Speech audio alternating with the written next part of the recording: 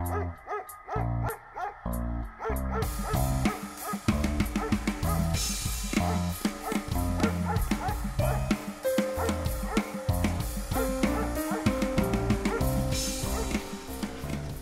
and welcome to another edition of Trailer Gourmet. My name is John Highstreet and we are going to make Plumber's Rhubarb Strawberry Pie. And I'll tell you why it's named that in a while. First, let's go over our ingredients. This is something we lay out just so that you know you have everything. We've got uh, juice over here from a grapefruit, half a little over half a grapefruit, and that juice will be added to something or other. Figure that out later. Flour for the dough, that's three cups. Uh, third cup of shortening, half cup of brown sugar, and six tablespoons of butter. I've got a tablespoon of ground ginger and cinnamon mixed together because it's easier. This is a shot of Tennessee honey whiskey. That's going to go with the rhubarb.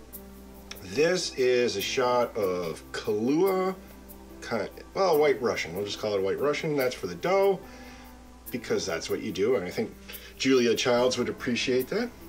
Egg is for the glazing on the dough crust later. A little bit of salt, and here's the rhubarb. Here's the strawberries, which we're going to cut up in a bit. And here's a bowl for mixing that in. Let's begin. So as you can see, we're simply going to add the flour and salt. So what we'll do is we'll sort of sift it. Never found this to be that critical. A pinch of salt. I use sea salt just because it has a little more panache. Then do that. Just give it a nice little toss around. We then we add the other goodies. Third cup of shortening. The butter. Lots of butter. Oh, this is organic. First, let's get this mixed up. This will take a few minutes. We'll get it all ready. And it'll be a most beautiful, delicious thing. All right, hold that thought. okay, so once you get the uh, dough mixture to a nice crumbly mixture, for lack of a better word, then you can add, now usually you would add cold water to make it into a dough, but we're going to use a white Russian mix because it's going to actually add a lot of flavor to the dough. And I highly recommend doing so. So this is a little over, so what we do is we'll start off by using just a little bit, work it in, get it to the right doughy consistency, and if we need more, we'll add more. So we'll add about half of that, and we'll mix it up. I know we're going to need a little more, I can just tell. Depends on climate too, so it depends on where you are. You might need more, you might need less. Yeah, we're definitely going to need more.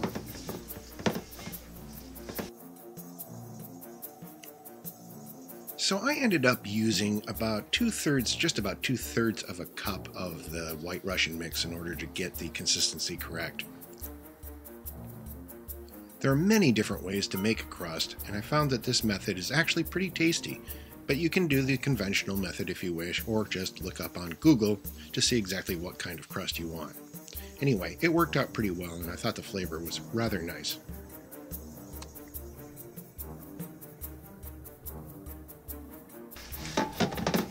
And then what we're going to do is we're going to chill this in the fridge for about half hour.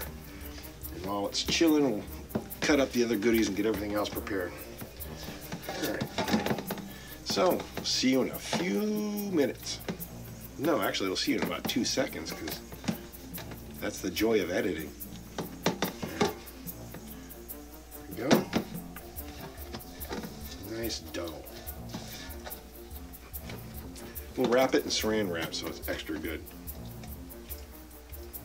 Dough. Dough!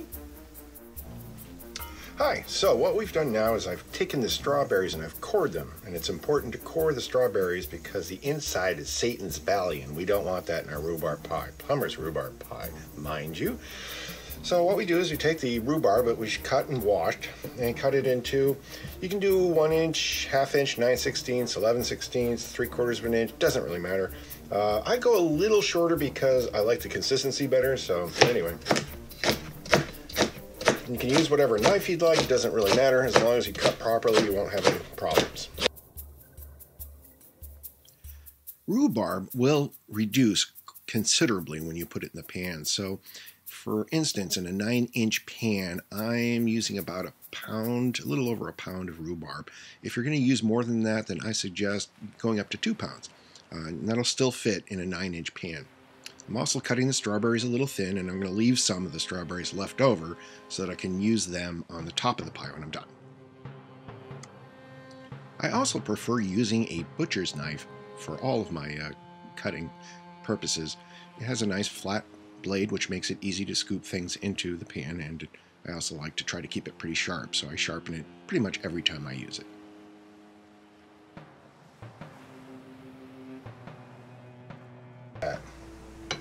Pretty. Now that uh, grapefruit juice, you can use an orange, that's fine too. I use grapefruit juice because it's a nice fun tart. Tart, tartier? Ah, we add that in. Now we, what we're going to do is we're to bring that to a boil. If we can get the stove to light. There we go. We'll bring that to a boil, and after it comes to a boil, we're going to turn it down and let it simmer for three, four minutes. The goal here is to get it soft. And then after that's done, we're going to let it cool a little bit. We'll add the brown sugar, and we'll get our pie dough thing ready so we can actually put that in the pie. So we'll see you in a second. And I almost forgot, at this point, while it's simmering in the last couple of minutes while it's getting soft, we add the whiskey to it. Just like so.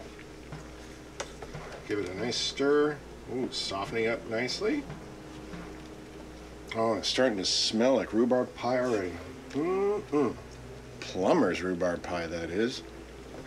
All right, I'm gonna let that go because I can tell it's still a little I want it so that when it bakes, it's actually pretty soft. So I'm gonna let that go for just another couple of minutes.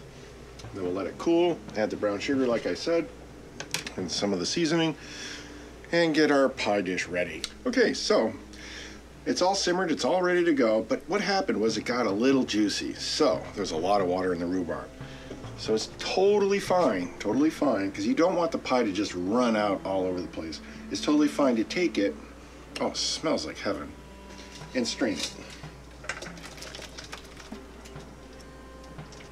Do that. Does reduce quite a bit, so keep that in mind. Back in the pan with you. Doesn't look pretty, but it's gonna taste marvelous. So we'll let that cool down a little bit, and now we'll get our, our, our let that cool down a little bit and get our dough ready. All right, so now you're wondering why is this called Plumber's Rhubarb Strawberry Pie? I know I was. And I came up with that creative name because, well, I don't know where the rolling pin is. I have no idea where it is. Someone got it in some travel along the way. However, I do have this wonderful two inch, no, inch and a half PVC pipe that I used for something or other. which I'm going to use as a rolling pin, hence the name. So what I've done is cut the dough, the big ball of dough, into two thirds and a third piece, one for the top and one for the one for the thing, the bottom. And what we'll do is we'll roll that up. Sprinkle a little bit of flour, like so. Can I get a basic shape going? I'm to try to roll it out pretty thin, but not too thin.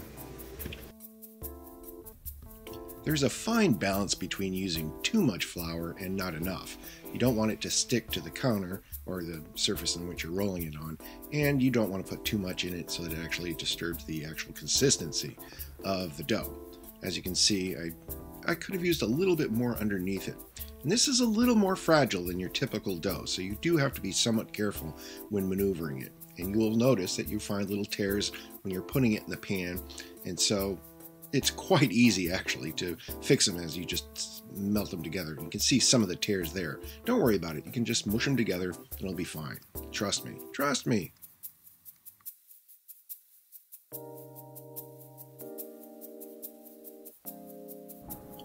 So here's my miniature butcher's knife, which I'm using to trim away the excess around the top of the pie.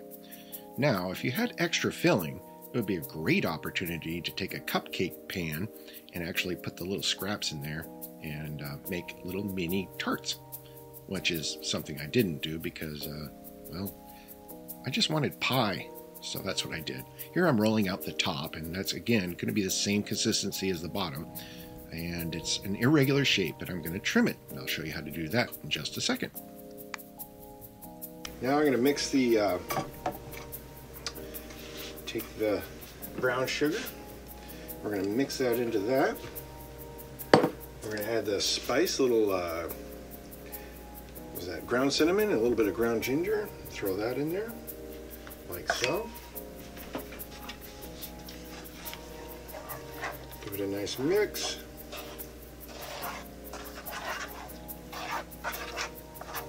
Mm -mm really looks terrible, I gotta be honest with you. But it smells wonderful.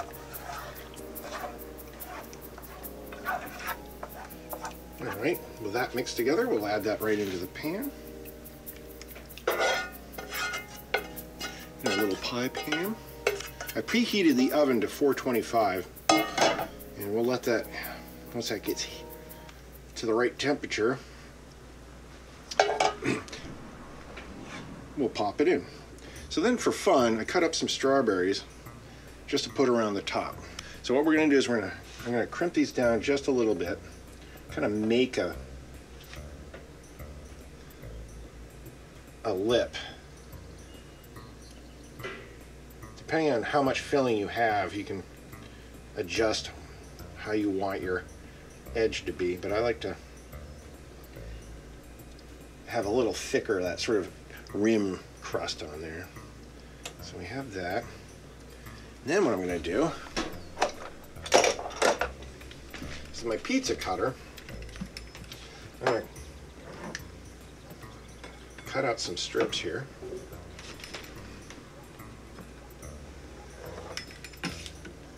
Set you aside.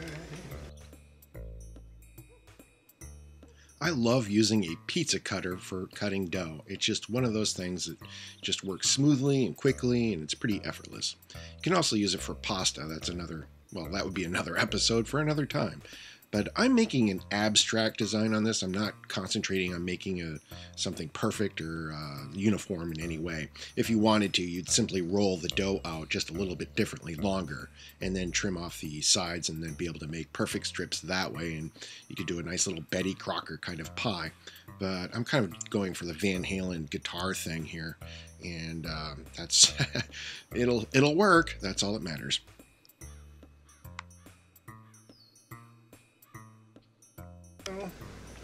So I've left a few spaces and a few things open so you can kind of see. I'm not going to tilt it too much because and it's a slightly abstract design. It's not absolutely pro, but you know, that's not what I do for work. So let's pop it in the oven and see what happens.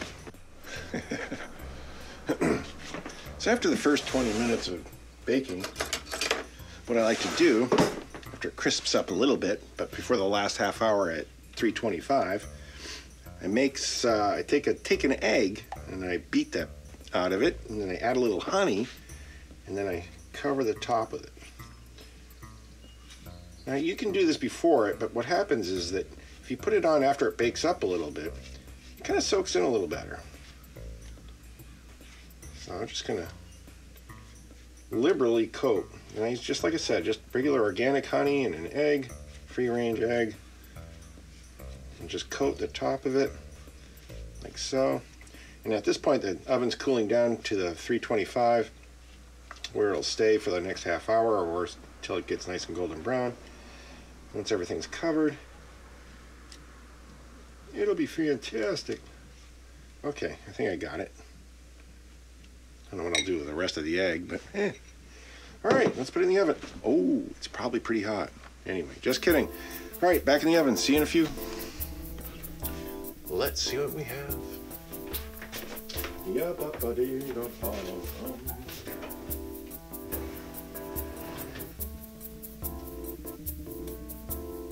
Oh my god, it smells fantastic. Ow, ow, ow. Ooh. So there you have it, folks. Plumber's rhubarb strawberry pie. I hope it tastes as good as it smells. I'm thinking it does. I'll check back with you later and tell you if it's any good. Thank you for watching Trailer Gourmet. My name is John Highstreet, and I will see you next time doing something else completely bizarre. Ciao.